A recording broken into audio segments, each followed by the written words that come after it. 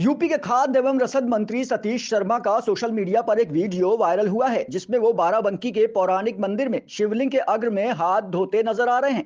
मंत्री जी, ज़िले के रामपुर स्थित पौराणिक लोधेश्वर महादेवा मंदिर में शिवलिंग के अग्र में हाथ धोते नज़र आ रहे हैं। सोशल मीडिया पर कुछ यूज़र्स ने उनकी इस हरकत पर नाराज़गी जताई है। वीडियो में ज़िले के प्रभारी मंत्री जितिन प्रसाद भी हाथ जोड़े खड़े नज़र आ रहे हैं। वीडियो में मंत्री पुजारी से इशारे में कुछ कहते हैं, जिसके बाद पुजारी लोटे से पानी डालते हैं और मंत्री जी शिवलिंग के अग्र में ही हाथ धो देते हैं। ये वीडियो 27 अगस्त का बताया जा रहा है। बताया जा रहा है कि सतीश शर्मा और जितिन प्रसाद रामनगर तहसील में बाढ़ पीड़ितों को राहत सामग्री वितरित करने पहुँचे थे। इसी दौरान उन्होंने मंदिर में पूजा की थी। उत्तर प्रदेश सरकार के मंत्री सतीश शर्मा शिवालय में शिवलिंग के अग्र से सटाकर ही हाथ धोने लगे। बगल में एक और मंत्री जितिन प्रसाद खड़े होकर टकटकी निगाह से देख रहे हैं। वहीं इस वीडियो के वायरल होने के बाद कांग्रेस ने निशाना साधा है। कांग्रेस की ओर से किए गए ट्वीट में लिखा गया है कि धर्म के नाम पर, देवी देवताओं के नाम पर राजनीति करने वाले और कुर्सी पर बैठने वाले इन नीच लोगों के पास इतनी सामान्य सी बुद्धि भी नहीं है